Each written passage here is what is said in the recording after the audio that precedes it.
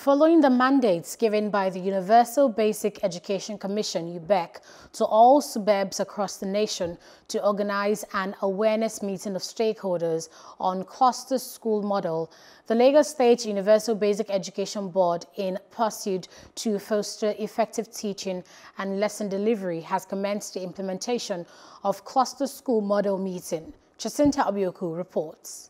The meeting, tagged Advocacy and Sensitization on Cluster School Model, is said to be the third stage of the initiative, which includes all stakeholders in basic education. The Cluster School Model is a strategy developed to enhance the on-the-job capacity of teachers and education managers. The objective of the clustering system is to make sure that we have a development of action plan, we have selection of participants, advocacy and sensitization. That is what we are doing here. The cluster school model is a strategy developed to enhance the on-the-job capacity of teachers and education managers for improved learning at the basic education level.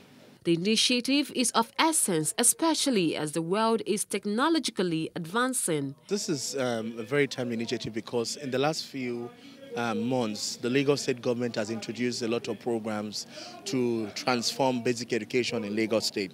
You recall that um, last year, this time last year, we launched EKOEXCEL which sought to um, digitize our classrooms and the way that teaching and learning was being done. So we introduced technology for our teachers, our lesson note for attendance. So what the board has focused on under Mr. Babajide Sanwo-Olu and the chairman, Honorable Wahab Alawiye King, is to see how we can make learning experience interesting for learners. This is to show that uh, we, are we are improving by the day.